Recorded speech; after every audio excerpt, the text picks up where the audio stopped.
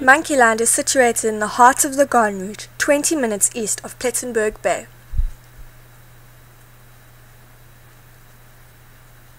It covers 120 hectares of Tsitsikamma forest, that is the same as 12 soccer stadiums put together. Here we are arriving at the sign just outside Monkeyland. This short drive will build up your excitement as Monkeyland gets bigger and bigger. On entry, experienced tour guides welcome us kindly and explain to us basic sanctuary rules. From there, we are led into the sanctuary to book our guided tour. Some interesting facts. Monkeyland is the world's first and only multi-species free-roaming primate sanctuary. Monkeyland was opened to the public on the 6th of April 1998. There are over 400 primates in Monkeyland. Monkeyland supplies 99% of food the monkeys eat. Monkeys have an IQ of 174. Uh, well, when we started in 1998, um, the original primates were monkeys that were uh, people's pets in South Africa. Some were surplus animals from zoos, and some came from a laboratory, well, various laboratories overseas where they were confiscated and taken to a safe house called Stichting AAP, and Stichting AAP sent them to us. Um, Stichting AAP is based in Almere in Holland, and um, they take in animals that were confiscated from zoos, not specifically only monkeys, but they have, you know, um, raccoons and skunks and so on as well. And um, but um, the, the, reason we started Monkeyland was because there were so many primates in the pet trade and people selling them in pet shops and all over the place and uh, the zoos even, um, the surplus stock, the surplus animals, you know, when there was a baby born and so on, they would sell those off to uh, the pet trade. So what our whole aim was is to stop the pet trade of exotic animals, basically specifically primates, and then um, curb it as best we could, and encourage zoos to rather let us know when there's a when there's surplus, and if we could take them, we would. Obviously, we have to pay for them, but when the when the primates came come to us then they have no value. So we, we, we don't sell animals and we put them in a trust so they can't ever be sold.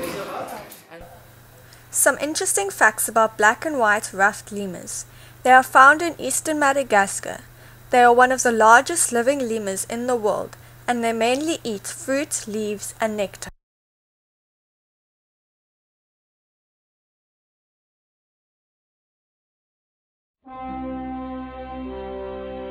Approximately how much does it cost to run Oh, that's easy because we had to do an estimate about a year ago, and this uh, well, obviously our, our, our, money's thrown together with Birds of Eden, the same organisation, uh, twenty-five thousand rand a day minimum.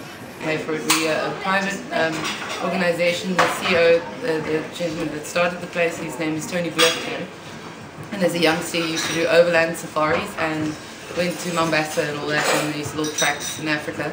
And as uh, you know, population, humans breed a lot. So as, as the human civilization grew, um, they would um, you know start tarring roads and that kind of thing, and that opened paths open to the forested areas. And then uh, Africa has a big problem with bushmeat, where people eat like um, monkeys, yeah, and they well they eat practically anything that moves. Yeah. So you know you could call it venison if you want, but um, the thing is, primates are closest living relatives. We're actually in the same uh, grouping as them. So, uh, in my opinion, it's a bit cannibalistic actually. Mm-hmm. And also, it's very sad that we have such little respect for our, our animals that you know that it's okay to just eat them and not worry about you know future generations.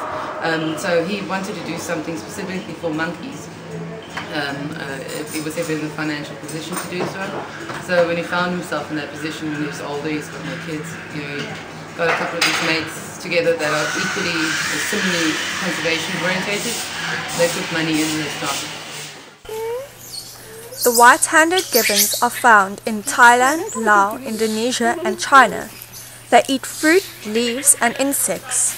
Monkeyland has one gibbon named Atlas. Well,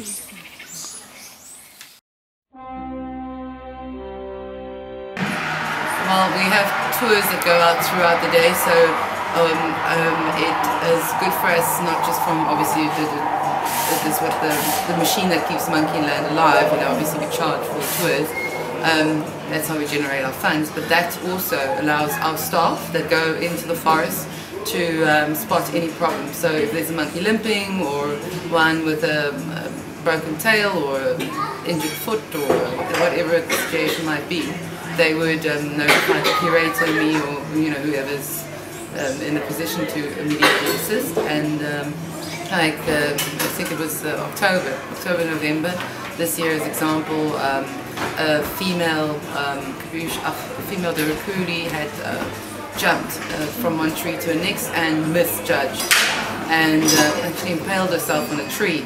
But she still had her baby with her. So mum was dead, baby was with her, but of course the baby needs to be fed breast milk and that kind of thing. So um, the baby was then taken from the dead mother and then brought to me and then I hand reared her. But she's already in the process of being released. So, so, um, so but if the staff were there like that, then she would be dead. And then um, the same with the ringtail lemur, she was found here on the forest floor, um, a prem baby. And um, I think the mother must have either thought it was dead or whatever the situation was. I mean, I couldn't figure out what the mother was thinking, but it was, it was, it was so close to dying. So, um, but we managed to pull her through as well. So, yeah, so, but I mean, we wouldn't be able to do that if we didn't have feeders going into the forest at sun, sunrise, you know, so, and we have um, staff that live inside. Monkeyland has the longest suspension bridge in Africa. It is 120 meters long. Quite cheeky.